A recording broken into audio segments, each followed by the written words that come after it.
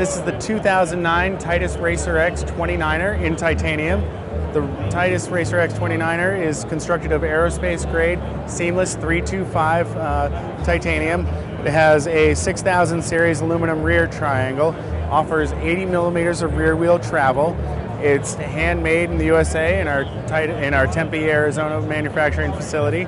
Features a Fox RP23 high volume rear shock, and it also features a compression molded carbon fiber swing link to add stiffness and steering traction. Um, that is the 2009 Racer X Titanium.